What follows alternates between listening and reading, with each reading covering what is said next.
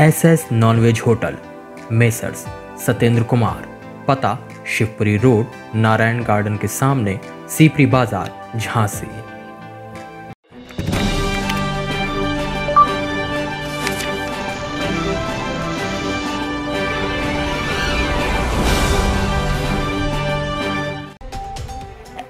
टीकमगढ़ ज़िले की तहसील खरगापुर में धारा 144 के उल्लंघन में बेबी राजा सुरेंद्र प्रताप सिंह सहित 30 अन्य पर मामला दर्ज। पूरा मामला खरगापुर नगर का है, जहाँ बिना परमिशन के जल बिहार महोत्सव की प्रभात फेरी गाजे बाजे के साथ निकाली जा रही थी, जो 144 धारा का उल्लंघन है।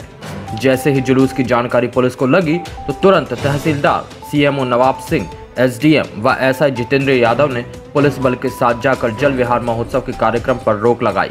व धारा 144 का उल्लंघन करने पर बेबी राजा सुरेंद्र प्रताप सिंह व अन्य पर धारा 188 का मामला दर्ज कर लिया गया है और जाँच शुरू कर दी गई है। टीकमगढ़ से शाहीन नशा सिद्दीकी की रिपोर्ट, बुंदेलखंड टुडे झांसी।